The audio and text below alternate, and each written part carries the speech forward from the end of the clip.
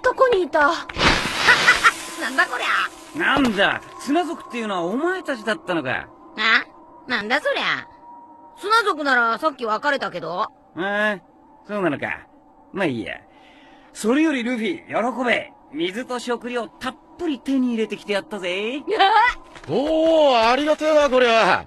当分の間、食うには困らねえぞ。すげえな、エスって。の弟さんとは大違いだわ。言えてる。俺、喉カラカラだったんだ。おう、飲め飲め。あれは。あの、エースさん？取り替えるべき金銭もないはず。まさか、あの村から盗んできたんじゃ。とんでもねえ。反乱軍からもらったんだ。反乱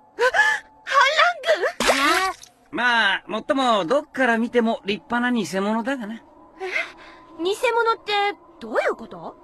要するに、反乱軍を名乗って村の用心棒をやってんだ。村の連中はありがたがってすっかり騙されてたがな。正体はただのゴロつきだ。